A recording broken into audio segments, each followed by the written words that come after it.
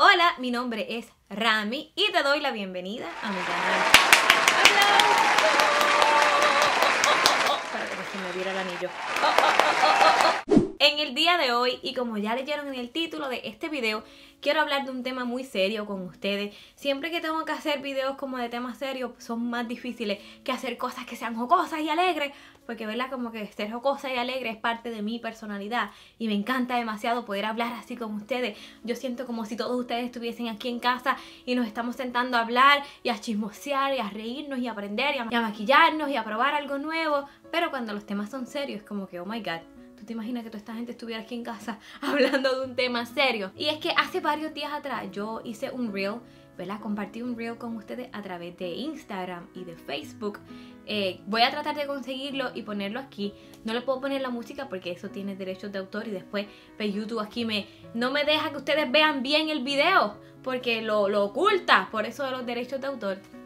Pero básicamente la idea de este reel es de, una canción que dice como que Señor, gracias por el amanecer, gracias por la lluvia, gracias por el gozo, gracias por el dolor. Y yo lo quise compartir con distintas imágenes, eh, imágenes donde me veo feliz con Adrián, riéndonos o jugando o cantando. También puse algunos videos de, mi labor de parto, eh, del video que les compartí acerca de la depresión postparto, que ya hace casi tres años que compartí ese video con ustedes. Yo sé que muchas y muchos de ustedes lo vieron y se identificaron. Todavía es la hora que a, pasar, a pesar de los años... Eh, me encuentro con mensajes de ustedes y a veces hasta con personas ahí en vivo que me dicen, Rami, yo empecé a ver tus videos cuando compartiste lo de la depresión postparto, o Rami, yo también sufrí depresión postparto y la sufría contigo porque nuestros niños nacieron al mismo tiempo, en el mismo mes, y pues todavía es la hora que de ese tema hablamos bastante, ya sea por mensaje directo o con personas que conozco. Les compartí ese reel y le escribí en el caption como que, gracias Señor por todo.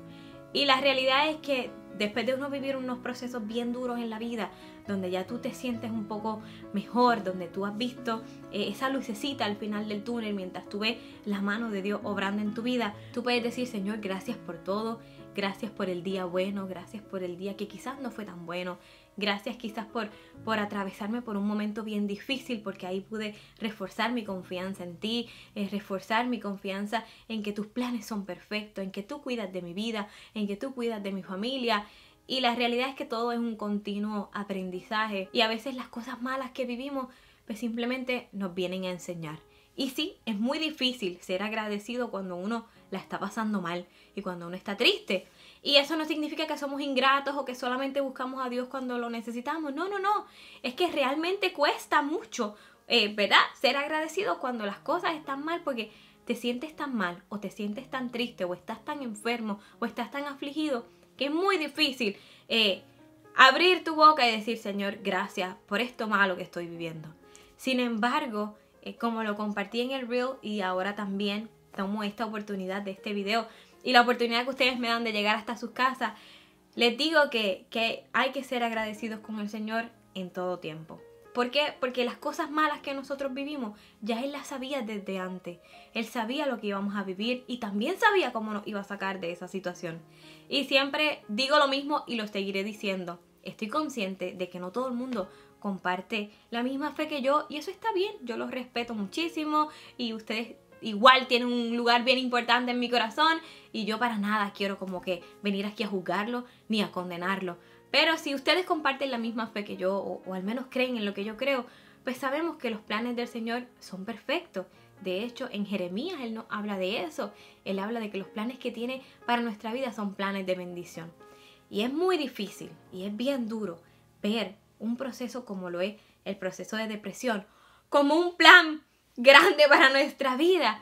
Pero la realidad es que ya cuando tú lo has trabajado, cuando tú estás buscando la manera de sanar, cuando tú estás abriendo tu corazón a recibir esa ayuda que tú necesitas y empiezas a ver cómo las cosas van mejorando y empiezas a ver cómo vas sanando y empiezas a ver cómo te vuelves una persona distinta y cómo te transformas en algo bueno, tú puedes decir, Padre, es cierto, tus planes son perfectos, tus planes son más grandes de los que yo puedo imaginarme y aún, aunque pasé por un desierto bien horrible, tú siempre estuviste ahí a mi lado ayudándome. Y algo que yo quiero resaltar en este video y que es el título de este video, eh, no solamente es esa ayuda eh, increíble que recibimos de parte del Señor y la ayuda tan increíble que recibimos de parte de unos profesionales cuando decidimos buscar esa ayuda, ir donde un consejero, un psicólogo, un psiquiatra, alguien que sea experto en este tema que pueda brindarte unos conocimientos que en ese momento tú no tienes. Aparte de todo eso,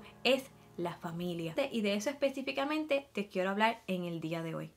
Si tú nunca has escuchado nada que tenga que ver con depresión postparto, pues sepa que yo tampoco sabía nada.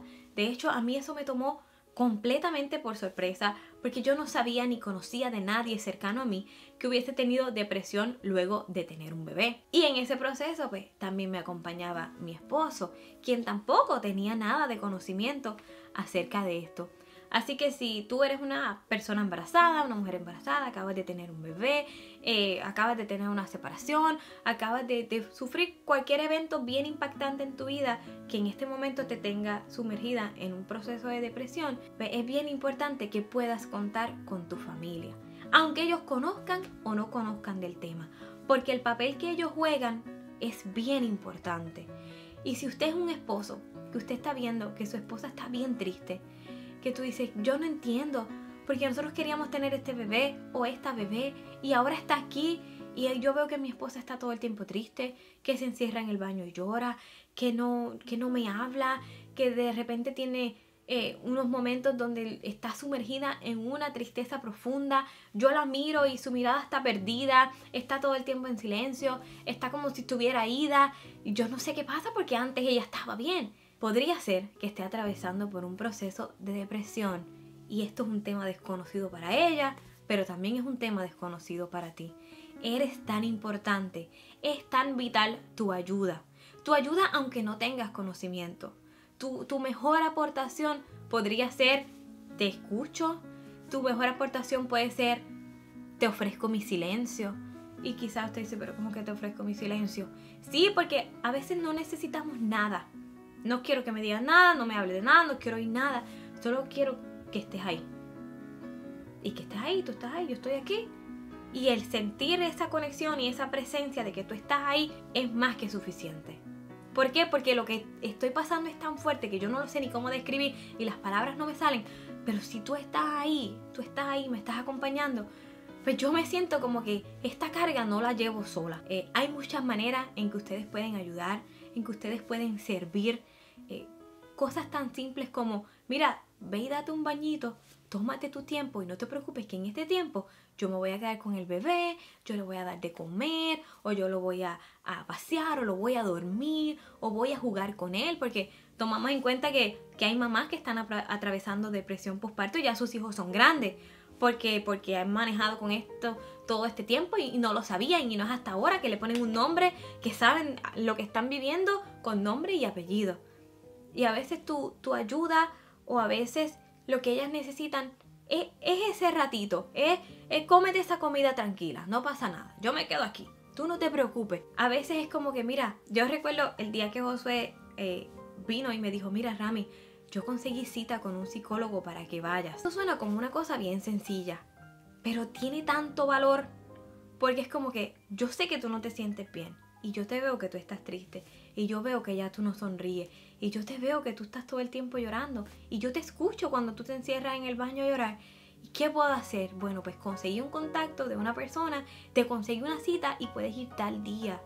O sea, ¿qué, qué regalo más grande y qué gesto tan lleno de amor es ese? El tú puedes decir, mira, te voy a buscar esta ayuda o mira, si conseguiste una cita con, un profesional, yo me voy a quedar con el bebé o con los nenes o con las nenas o con quien sea para que tú vayas y te atiendas, para que tú saques esa horita de tu vida, esas dos horas, para que vayas y te atiendas y hables con alguien y finalmente le puedas poner nombre a todo esto que tú estás viviendo. Una de las cosas que, que en mi corazón ¿verdad? Como que tiene un espacio bien importante y yo he sentido tanta gratitud con el Señor, es que luego que yo compartí ese video que tenía que ver con depresión postparto, mucha gente que no me conocía me escribían, Rami, eh, estuvimos orando por ti en nuestra iglesia.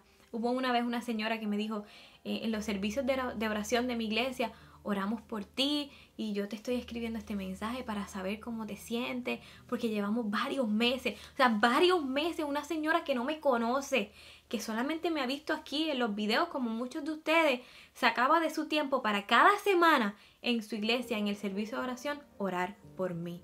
O sea, eso mira, a mí se me estruja el alma y hasta ganas de llorar me da. Porque cuando una persona que no te conoce saca el tiempo para orar por ti, es porque de alguna manera tú eres importante en su vida y porque de alguna manera ya saben que el Señor es capaz de sanarte. Así que a veces los gestos de la familia no tienen que ser cosas grandes de te voy a llevar a pasear. Bueno, si te llevan a pasear, pues eso está bien. O te compré tal cosa o vamos a ir a tal lado. A veces un gesto simple puede ser estamos orando por ti, estás en mis oraciones, estoy pendiente a ti, te cociné esto, te hice este postre y te llevo, porque te tengo en mis pensamientos, porque eres importante para mí. Todos los días hay muchas maneras en las que ustedes pueden recibir ayuda. Hay psicólogos virtuales que usted no tiene ni que ir a, ningún consultorio. Eh, lo más seguro hay alguien cercano de usted que es psicólogo, que es psiquiatra, algún consejero de la iglesia. Dese la oportunidad. Usted va una vez, y si usted ve que no hay así como que, ah, mucho clic, como que no tiene que volver, puede ir a otro lugar y recibir ese servicio. Hágalo por usted, para que usted se sienta bien, para que usted vuelva a sentirse alegre, porque la realidad es que vivir así es bien fuerte y es bien triste. O sea, para alguien que quizás nunca ha tenido depresión o no sabe lo que es, o sea, tú sientes hasta dolor físico, te duele el cuerpo, es como si te apretaran el pecho, como si te empujaran ahí contra la pared y te corta hasta la respiración. Es bien fuerte, no solo emocional, sino que físicamente te sientes bien mal.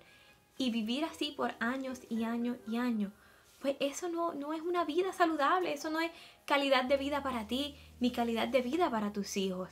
Recuerda que hay unas personitas pequeñitas que te necesitan, que necesitan que tú estés bien, que necesitan que tú vuelvas a sonreír, que necesitan que tú estés ahí al 100% y son tus hijos, son tu familia, son tus esposos. Bueno, no tus esposos, no pueden tener más de un esposo porque aquí no somos árabes, pero ustedes me entienden.